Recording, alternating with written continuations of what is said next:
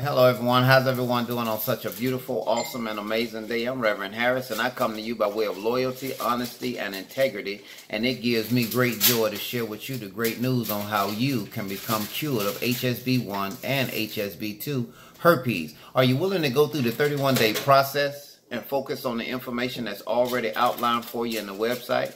If you can and if you will, then allow me to introduce to you Herpes Boot Camp. That's right. Herpes Boot Camp changed my life. Herpes Boot Camp is in the life changing business. And as a result of Herpes Boot Camp, I'm 100% herpes cured. And my level of excitement through the roof. And I want yours to be the same way. But I have to ask you a question How sick and tired of being sick and tired are you? Are you tired of the naysayers telling you that, oh, you will live with this disease for the rest of your life? If you're that sick and tired of being sick and tired, then herpes boot camp is for you, whether you think it is or not, because it changed my life.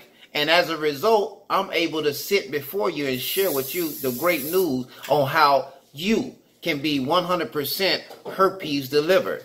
The question I have for you is, what choice do you have?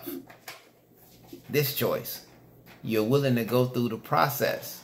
31 day process. Is it hard? Yes. Is it easy? Yes. Is it challenging? Absolutely. The question is, is are you prepared to be challenged?